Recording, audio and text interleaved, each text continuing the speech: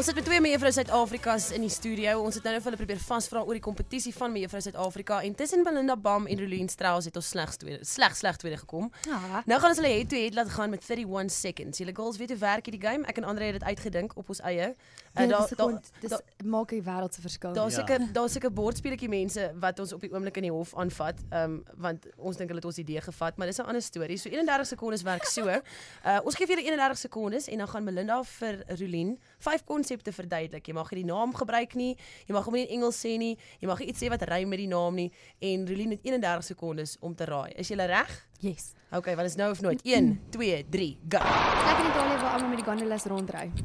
Met wat rondry? Met die gondolas, daai groot bote. O, o, ehm Venesië. Yes. Okay, uh daai plek waar jy oor see was, maar dit is eintlik 'n groot ding wat jy by Steers kan koop en eet. Burger? Hæ? Burger? Hamburg, Hamburg. Okay. Waar al die Suid-Afrikaanse rugby spelers saam speel, dit klink soos goeie wat mense in Durban eet. 'n Curry? Curry cup. Yes. Okay. Just a spoonful of sugar. Mary Poppins. Aha.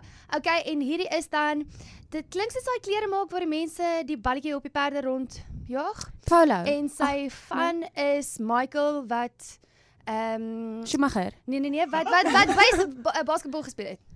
Tyler. Met die ehm, groot voete. Mike Mike Tyson. Nee nee nee nee, nee, nee, met die groot voete, met die groot voete, met die groot voete. Uh ek weet Wat 'n balletjie wat hulle rond speel. Wat het jy gedoen? Ons 31 seconds Sit is hulle op die lankal verby. perde? Maar No, but keep going. I ja, want to hier is see. 'n interessante verduideliking. Sit hulle op die perde dan? Ja ja ja. Ehm ag dan wat mense met wat noem mense dit? Polo. Oh, Waldevie. En die van is Polo.